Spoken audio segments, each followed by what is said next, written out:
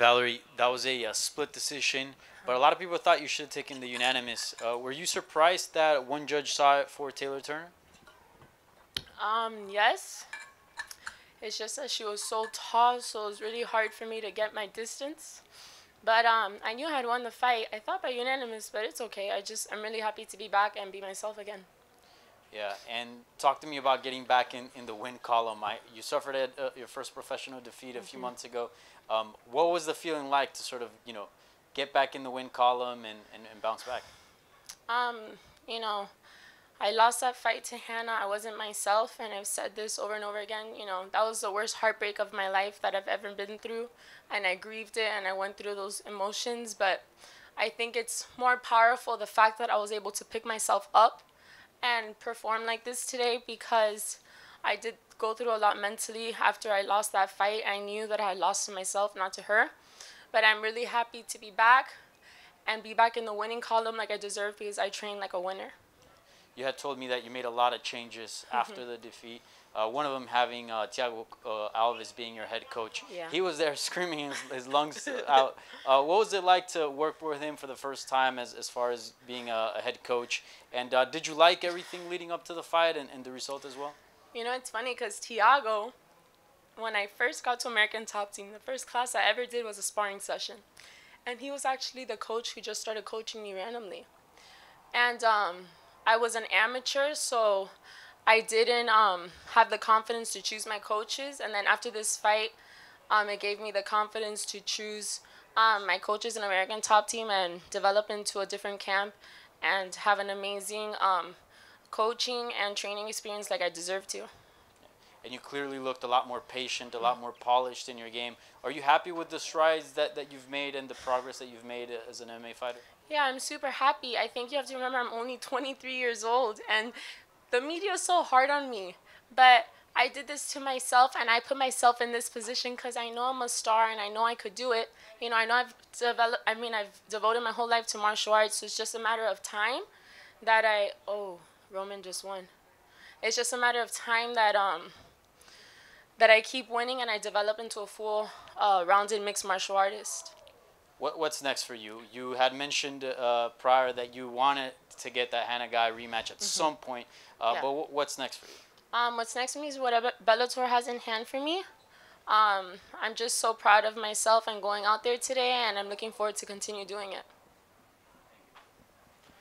Hey, Valerie, congratulations on your win.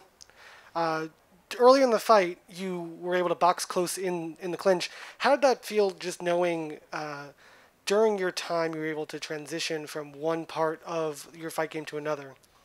Um, it was just so hard because I'm 5'3 and she was 5'10. I looked at her like this, like literally. So, and she's a lot older than me. She has two fights in Bellator. She's a grappler. She has a lot more experience than me.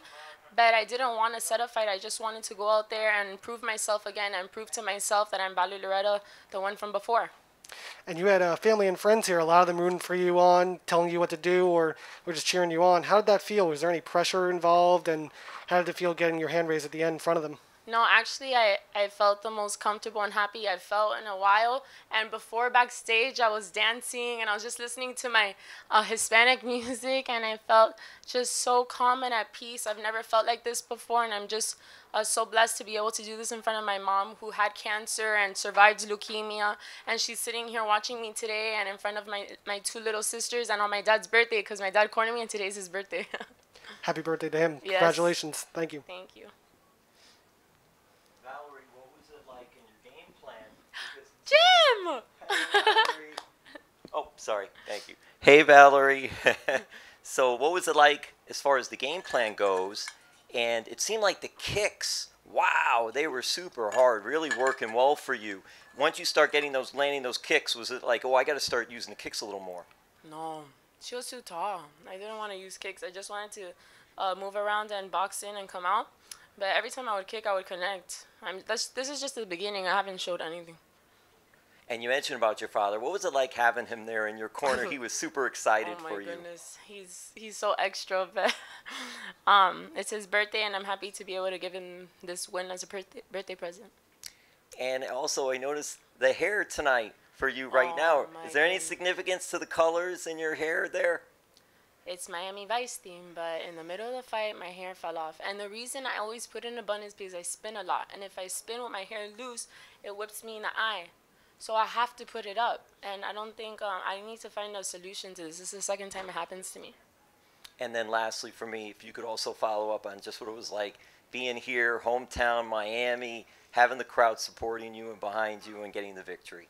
It's a dream come true. Thank you, everyone. Thank you, Miami. Thank you, Bellator. This is just the beginning of my career. All right, we'll take a few more questions from the media. Join us virtually tonight.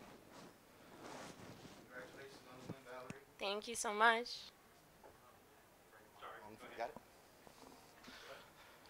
Valerie, real quick, um, we saw you tonight perform. Um, Yes. your kicks were, were on point. They were on target.